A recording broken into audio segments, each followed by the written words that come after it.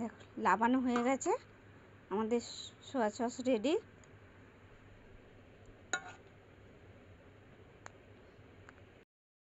দেখো, পুরো রেডি কেমন দেখতে হয়েছে দেখো? কত সুন্দর হয়েছে। দেখো, কত সুন্দর খেতে লাগবে। লেগ, আমি তো খেয়ে দেখলাম, খুব সুন্দর হয়েছে। দেখো, খুব সুন্দর।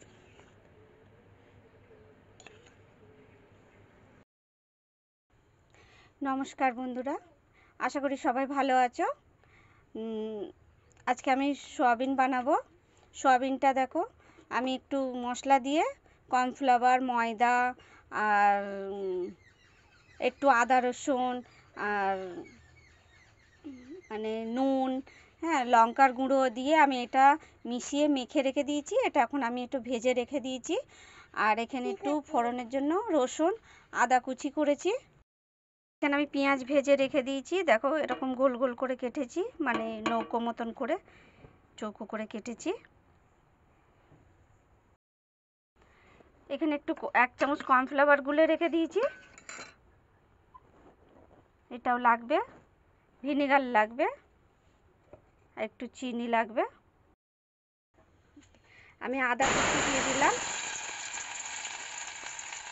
রসুন কুচি।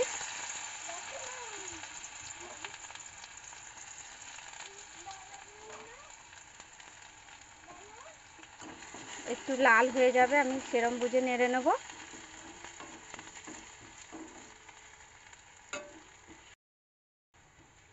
দেখো, একটু লাল হয়ে এসছে। এটাকে আমি এখন পেঁয়াজটা ভাজাটাও দিয়ে দেবো।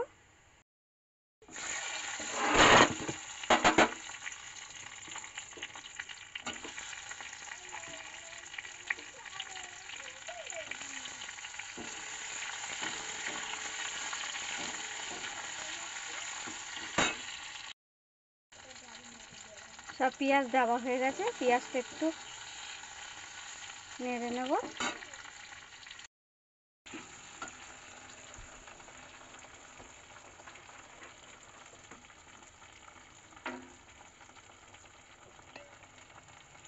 আমি সোয়া সস দিয়ে দেব। এক চামচ।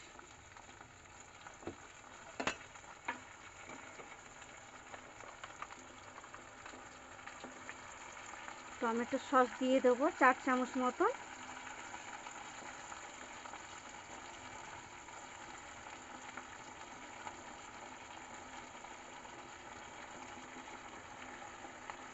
চার চামচ দেওয়া হয়ে গেল।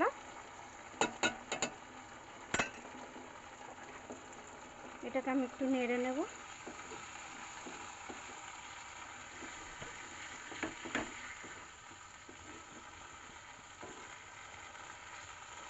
আঁচটাকে আমি বেশি হাই করলাম না, মিডিয়াম করে রেখেছি। একটু ভেজে নেব।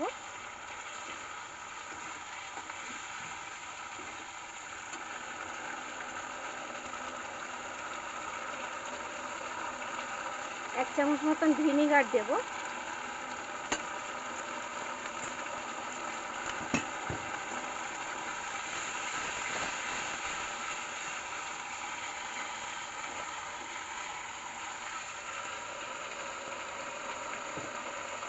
একটু রেড চিলি পাউডার দিয়ে দিলাম।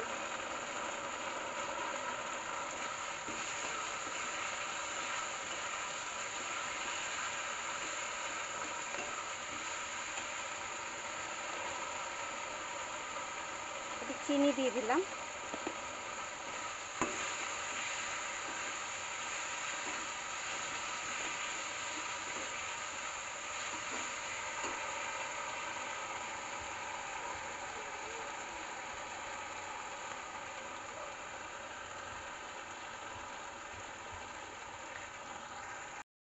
স্টপ করে দিবি।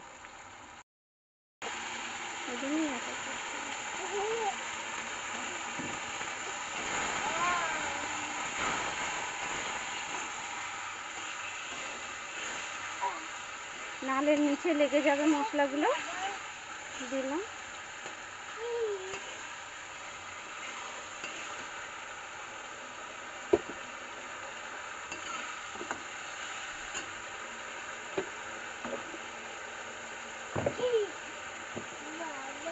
সোয়া সসগুলো দিয়ে দিলাম, ভাজাগুলো।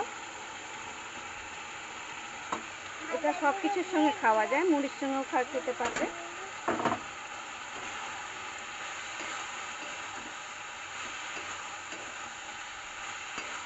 আবার একটু নেড়ে নেব ভালো করে। একটু নেড়ে নেড়ে সুন্দর করে আমি মিশিয়ে নিয়েছি। মিশিয়ে নিয়ে এটাকে আমি একটু জল দিয়ে করে নেব। বেশি না অল্প করে জল দেব।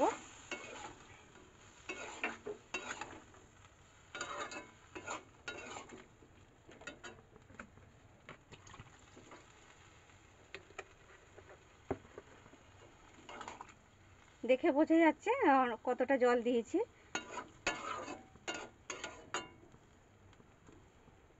এইটা একটু ফুটে যাক। একটুখানি কর্নফ্লাওয়ার দিয়ে দেবো, এটা নেড়ে নেড়ে আবার আবার একটু।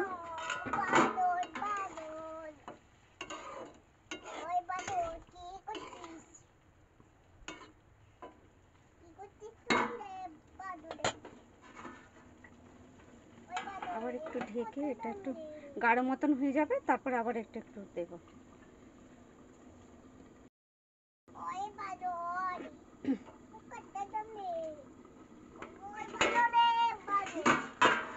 ভালোই ফুটে গেছে এবার গাঢ় মতন হয়ে গেছে।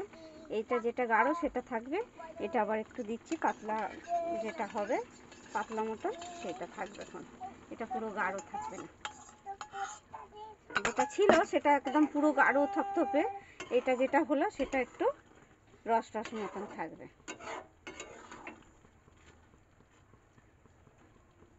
কত সুন্দর দেখতে হয়েছে, এবারে কত সুন্দর দশ মিনিটের ব্যাপার। খালি এটা ভাজো। আর শুধু সয়াবিন দিয়ে এদিকে ভেজে রান্না করে নাও।